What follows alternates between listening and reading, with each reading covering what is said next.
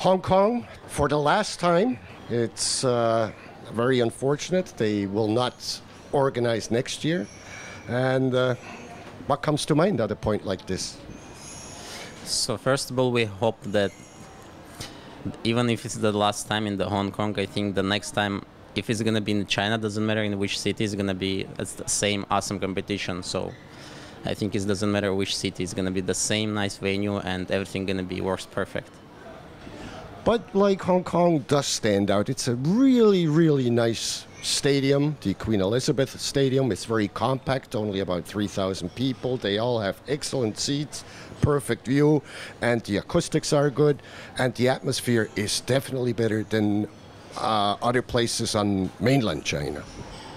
Um, yes, of course, uh, it's a, a, little bit different place than other um, places in China, but uh, in general, uh, so and we try also few stadiums. It's different every year. So uh, the public is warm. Uh, the atmosphere is warm. There's a lot of people here. That's why, in general, it's create good atmosphere. And they will be singing happy birthday tomorrow. As you told us, Armen's birthday is uh, tomorrow. He will turn 26.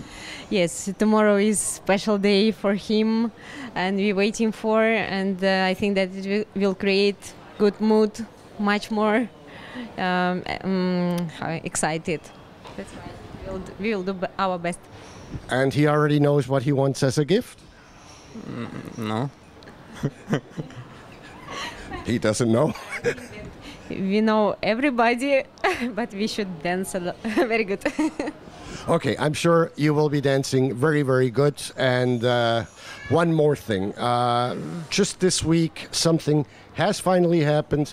Uh, we do have a Russian member of WDSF again, and it's a brand new federation, uh, kind of uh, evolved out of a merger between rock and roll and the classic disciplines.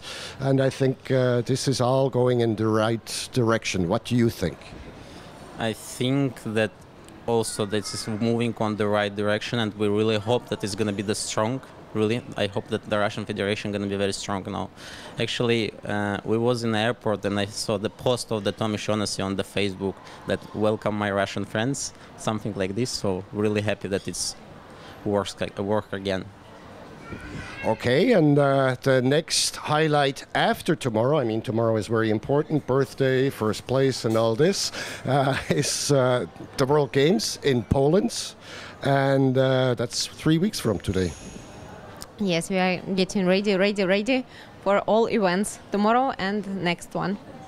Okay, we wish you the best of luck everywhere and thank you very much for taking the time. Thank you very much. See you tomorrow.